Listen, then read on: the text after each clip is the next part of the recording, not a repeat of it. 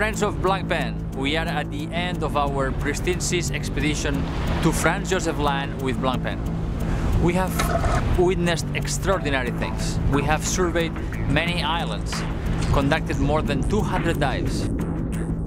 But one of the most extraordinary events that happened during the expedition was the walruses.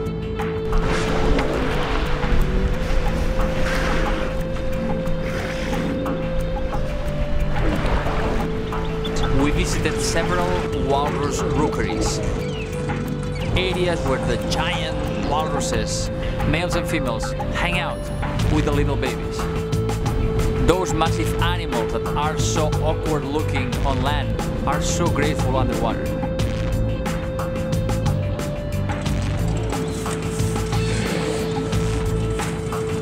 The results of this pristine seas expedition with Blancpain is going to inform the management and improve the conservation of this pristine Arctic ecosystem, Franz Josef Land.